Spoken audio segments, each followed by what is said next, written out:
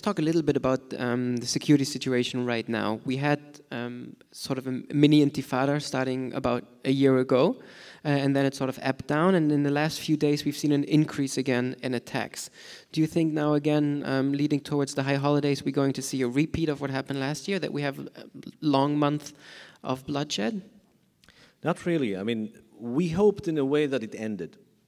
My feeling, I must say, when I was there in the field, while I'm trying to figure out what's happening on the Palestinian side, my feeling was that it almost ended, it almost over. But it was, it was pretty obvious for me that all the reasons that were there for the last escalation of October 2015 was still there now, a week ago, two weeks ago. And the reason that it didn't happen, the reason that we saw less terrorist attacks is, uh, well, kind of uh, understanding of the Palestinian Authority that it's not good for its interests, yes, but part of it was successes of the Israeli intelligence and the Palestinian intelligence. Every day that passes by, that passed, uh, the Israeli intelligence and the Palestinian one went and arrest people that wrote all kinds of things on Facebook or Twitter or whatever. I'm going to become a shaheed, I'm going to kill Jews, I'm going to do this and that. And the way that they managed to, to create the tool to find them managed to decrease the number of people that wanted or were on the way to do attacks. Having said that, it doesn't mean that it's 100%. And at the end, when you have one guy, Jordanian citizen, that succeeded in stabbing, or not even succeeded, but tried to do a kind of a, an attack, it's epidemic.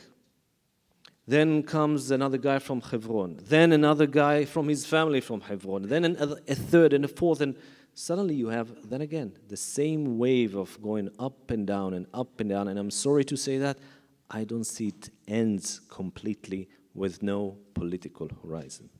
What role, if any, do the PA elections have in this whole cycle of violence?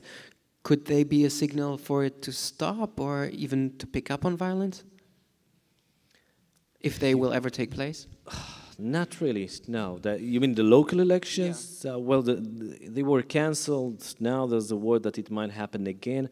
I don't see really the way that it affects things uh, on the terrorist level, on attacks. Uh, you know, this is completely internal politics between Fatah and Hamas. And, you know, Fatah might, at the end of the day, win some, gain some achievements in the West Bank, but Hamas will also if it would happen in Gaza, that might have been the big surprise, Gaza. Because we think of Gaza as Hamas, Hamastan, ta ta ta ta ta. Fatah might have won elections in some of the cities in Gaza if they were.